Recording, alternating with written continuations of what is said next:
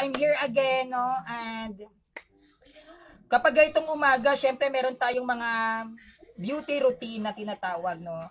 At ito, itong routine na ito, uh, ginag ginagawa ko to dalawang beses sa isang linggo. Either Monday tapos Friday, pero hindi ko siya inaaraw-araw.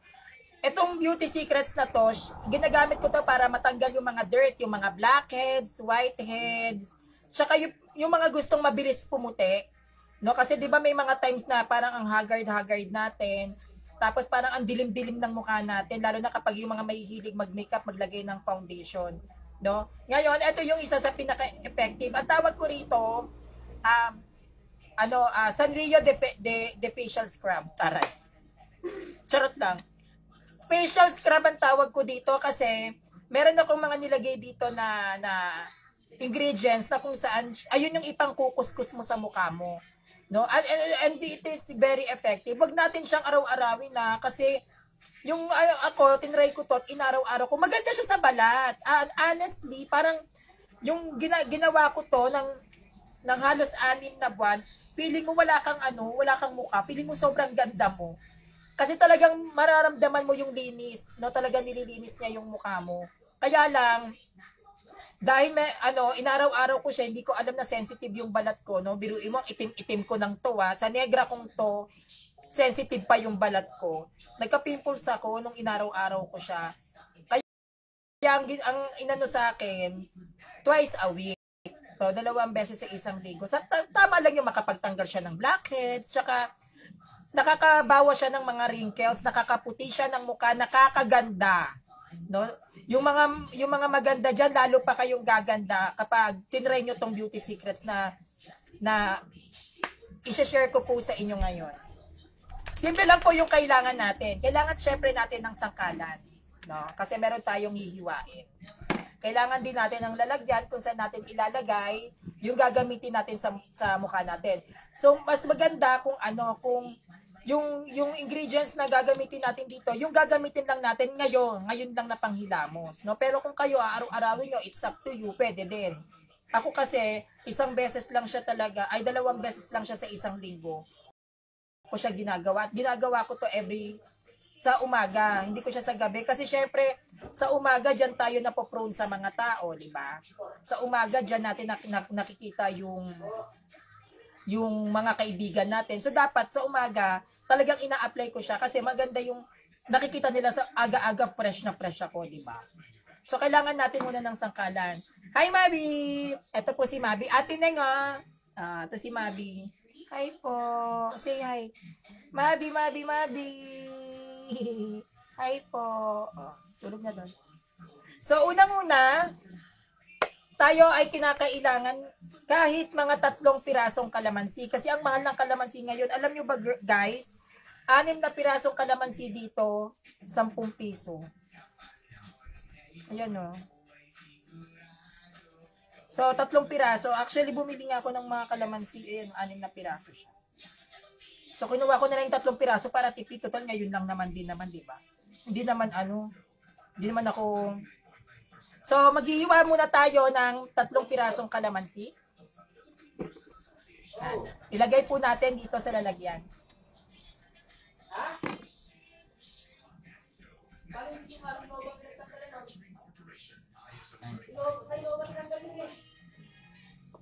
Tatlong pinasong kalamansi. Alam naman po natin na ang kalamansi ay mayaman sa vitamin C. No? At ang vitamin C, isa yan sa nagpapaganda ng kutis natin. Di ba si Gladys Reyes nga, di ba? Kalamansi sa kilikili. Sikreto daw para hindi raw mangitim yung kilikili mo. Magkuskus ka ng kalamansi sa kilikili mo araw-araw. Kaso ako, hindi kasi ako matyaga, mabilis akong mainit. No? Yan. Yan po ang ah, ngayon, nailagay na natin yung tatlong pirasong kalamansi. Pakita ko po sa inyo. Yan. So ngayon na meron na po tayong kalamansi, ang isusunod po natin is, kinakailangan po meron po kayong gawgaw. Itong gawgaw o cornstarch, yung iba baking powder ang ginagamit actually. Ako naman cornstarch. Ito yung ano, yung ipinangkukuskus ko sa mukha ko. Kasi yung nag-baking powder ako, masyado siyang magaspang. Ang sakit niya sa mukha, hindi ko malinis ng maayos. So cornstarch na lang yung ginamit ko. Pero kung ano, carry nyo, mas maganda sa iba, yung iba ha, baking powder talaga. Pero ako ito, cornstarch. Yung for today lang,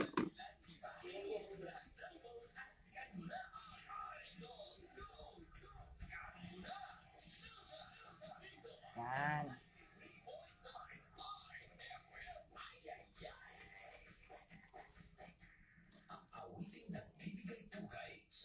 Kung meron dyan na baking powder, mas maganda po yung baking powder. Eh kaya lang po, uh, uh, tawag nito,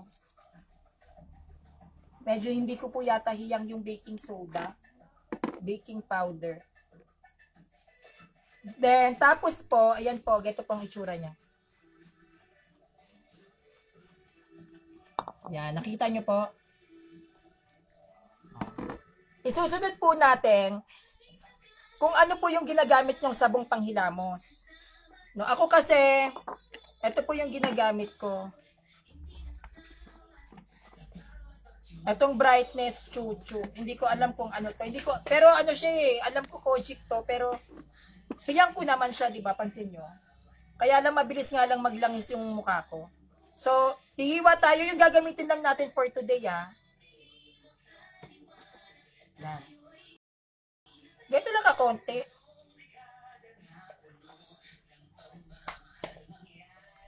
Yan. So, ngayon, ganito ang gagawin po natin.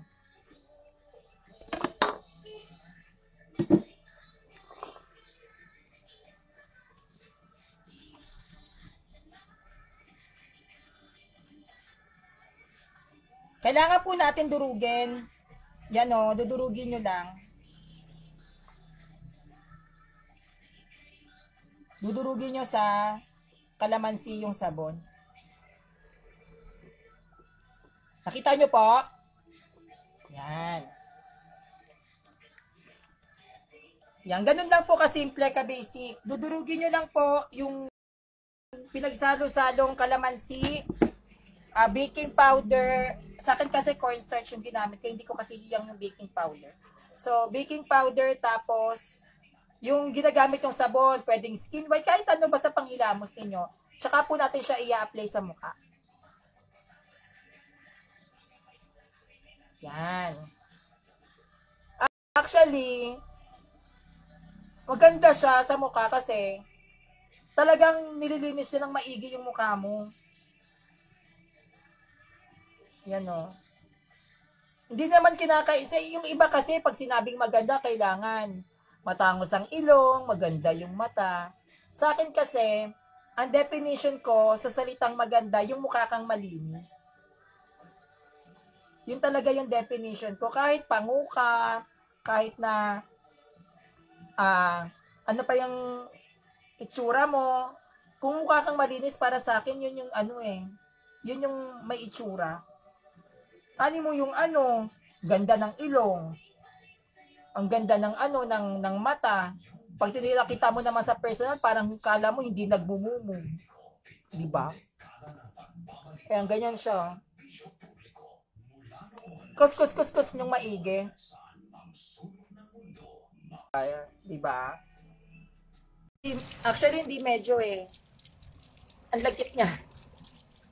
Malagkit siya talaga. So, maghihilamos muna tayo, syempre.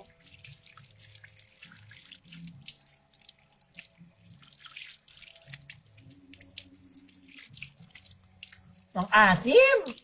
Na ano ko yung ano, yung kalamansi. Tsaka yung gaw pumasok sa bibig ko.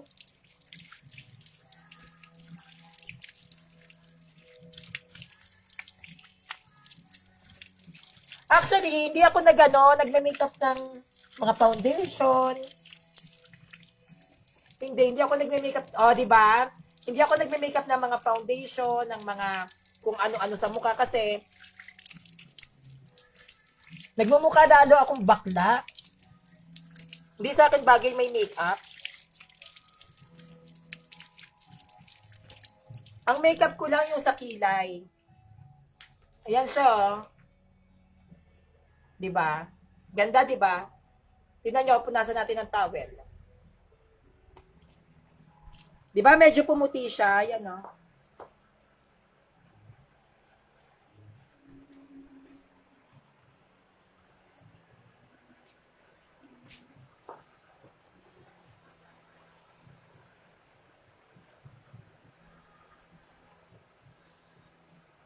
Uy, wag nating ano ah. Baka naman yung kuskus nyo, grabe naman yung kuskus nyo sa balat nyo sa mukha. Yung kuskus ano, ginawa nyo ng panghasaan yung balat nyo. Dampi-dampi lang para hindi naman siya madamage. Yan. Hmm. 'Di ba? Ano yung ina-apply ko after this? Meron akong ina-apply pagtapos nito kasi like what I've said, kapag mga kojic soup kasi para sa akin, yung mga orange na sabon, masyado siyang matatapang. May mga sabon kasi na katulad niyan, yung kulay orange na sabon, talagang sobrang tapang niya sa mukha. So ako, hindi ako pumapayag na na ano na nagaano ako na lalagay ako ng panghilamos na gano'n na hindi ko to ina-apply. Na napakahalaga kasi nito kasi kapag orange soap, nagda-dry talaga yung mukha natin, sobra. Sobrang nagda-dry.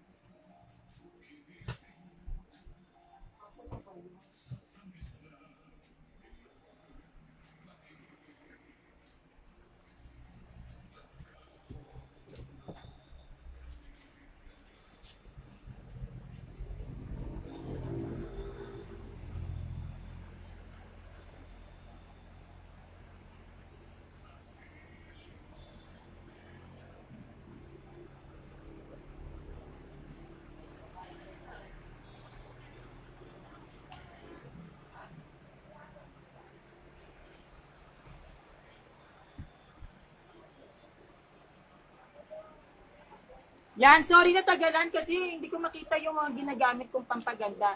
So tapos na tayong magilamos, tapos na akong magilamos, no? Ito na yung ano, wala akong makeup neto. Ito po yung ako. Normal na ako pag wala po akong makeup. So kapag tapos na po ako magilamos, ang unang-una ko pong nilalagay sa mukha ko is ito.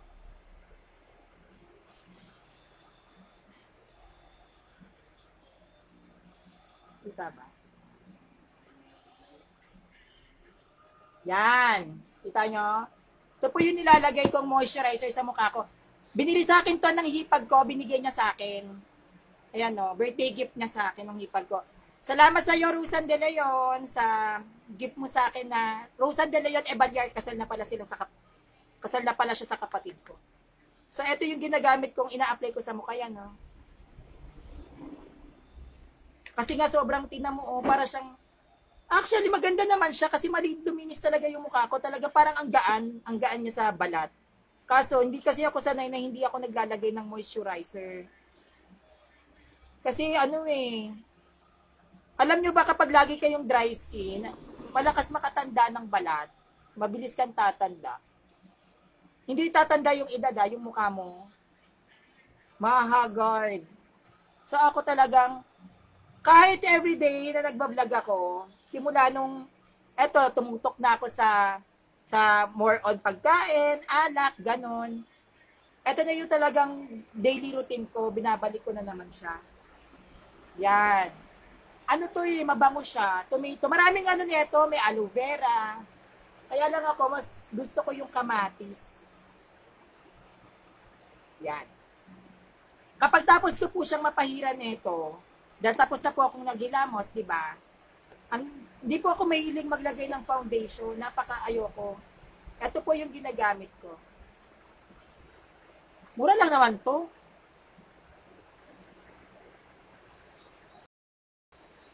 Do it, do it.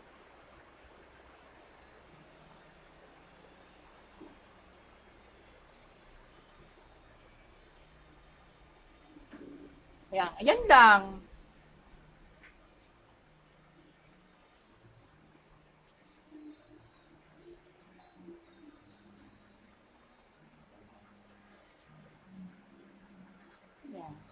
Ayan lang po. Ito, at saka syempre,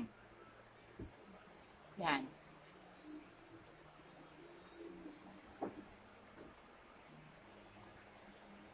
Nakikita niyo ba?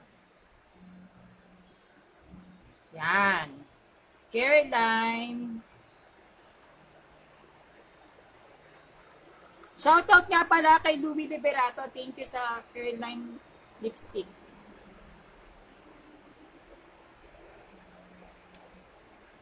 Ayan po, fresh na ako. Bali yung nilagay kong moisturizer, hintayin ko siyang matuyo. Hindi naman siya malagkit. No, hindi siya malagkit. And isa sa beauty secrets ko, Ito po. Ito naman yung ginagamit kong lotion sa ano. Ayoko ng mga ibang lotion. Gusto ko yan lang. Yan o. Sa ano. Kapag trip, pag ano, lalo na kapag halimbawa, ah,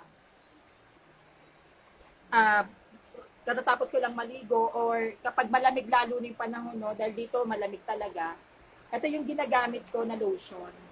Navy, Navia. Ito, oh. Sobrang ano, sobrang ganda niya sa balat. Ito yung pinaka-lotion ko. So, ito lang po yung ano, yung vlog natin regarding naman po sa beauty tips ni Sanrio. Sana po amin um, na ibigay ako sa inyong uh, mak mak mak eh, makahulugan, no? Makabuluhan na beauty tips ko na ginagawa ko tuwing umaga.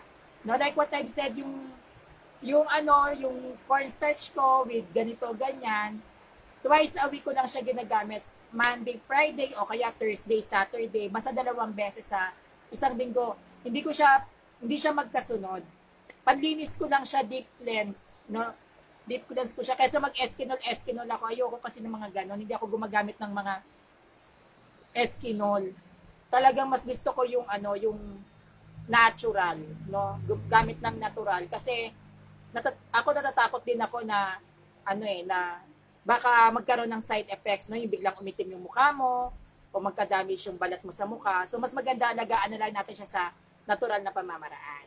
So once again, my name is Sanrio. Please subscribe on my YouTube channel, Sanrio TV.